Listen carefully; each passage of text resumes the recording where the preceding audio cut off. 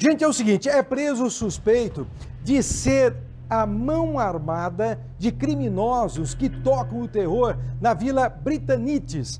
As vítimas do homem e do grupo são usuários de drogas e trabalhadores coagidos por grilheiros foram expulsos. Imagina você, eles expulsam os moradores das próprias casas. Deixa eu conversar aqui, ô Lúcio. Isso me faz lembrar aquele prédio em São José dos Pinhais. Lembra-se onde nós temos os traficantes lá? O condomínio da morte, Serra do Mar. Lá agora condomínio das Flores, lá também os bandidos, traficantes, colocam trabalhadores para fora dos seus apartamentos, que eu me lembro que houve uma denúncia. Aqui é a mesma situação, Lúcio. Boa noite.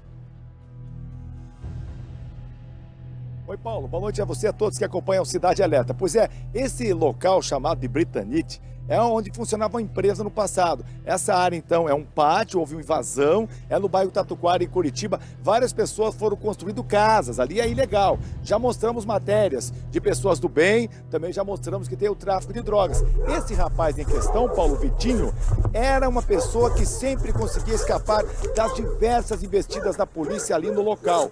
Vitinho era muito sagaz, ele se escondia, polícia. prendia os outros bandidos, a polícia, polícia. tudo envolvido com o tráfico de drogas polícia, e a grilagem de terra. Ali, Paulo, você comprava uma propriedade, se você não pagasse um certo pedágio, vamos dizer assim, o que acontecia?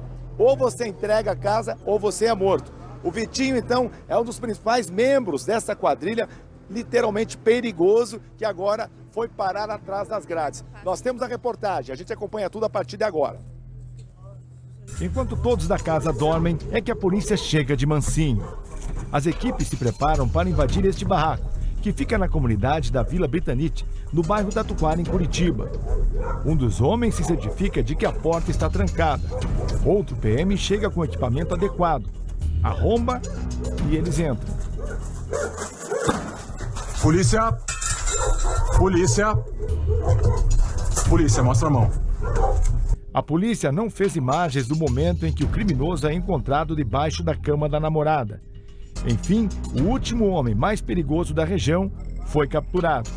Vitinho, como é conhecido na região, seria o responsável por vários crimes que aconteceram na Vila Britanite. Né? O suspeito seria integrante de uma quadrilha que dominava a comunidade. De acordo com as investigações, o bando seria responsável por pelo menos 12 homicídios ocorridos ali. Vitinho seria o braço armado dos traficantes de drogas e também da grilagem de terrenos dentro da comunidade. O bando expulsava os moradores das próprias casas e tomava posse. Quem contrariava as regras impostas pelos bandidos era assassinado. Durante vários meses, a polícia fez diversas operações no local. A cada incursão, integrantes da quadrilha eram capturados. No último sábado, Vitinho novamente atacou. Tentou matar outros moradores da Britanite.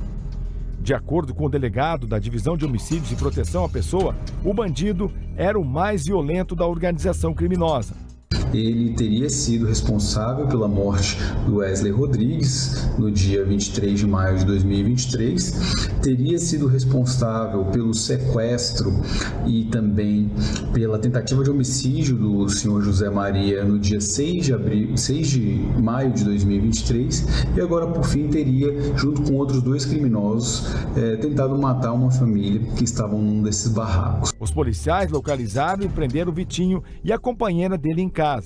Com a prisão do bandido, que sempre conseguia fugir das operações, a polícia afirma que a quadrilha que tocava o terror na comunidade britânica foi desmantelada. Pois é, Paulo, veja a situação. O Vitinho tem um irmão gêmeo, os gêmeos do terror, então que tocavam a bronca ali nessa região da Britanite, fica ali no, no bairro Tatuquara, às margens quase da BR-116, e esses dois tocavam o terror. O irmão dele já foi preso já faz algum tempo, e a polícia estava de olho no Vitinho, e ele estava debaixo da cama da namorada no momento em que as equipes chegam, conforme a abertura dessa reportagem, encontraram o rapaz lá, escondido debaixo da cama da namorada. Ele e essa companheira foram levados à delegacia. Agora, o Vitinho e o bando dele são responsáveis por pelo menos 12 mortes violentas ocorridas ali naquela região da Britanite. Volte e meia tem uma equipe lá do, da RIC TV Record fazendo reportagens sobre mortes violentas na região, Paulo. Então, agora a polícia acredita que com a prisão de Vitinho, os ânimos vão se acalmar por um bom tempo ali na Britanite, Paulo. Valeu, Lúcio. Espero que sim, porque a gente imaginar que uma pessoa que luta para construir o seu lar. Não é? Chega um bandido e diz: você vai sair do seu lar. Se você não sair, eu mato seu filho e tal. O que, que é o trabalhador vai fazer? Quem que é o forte da relação? Quem é que faz a maldade? Quem é que está armado? Por isso, neste caso, eu vou pedir palmas para a polícia. Porque a prisão e a ação da polícia pode realmente trazer a segurança e a tranquilidade que este povo do britânico que nos acompanha nesse momento merece.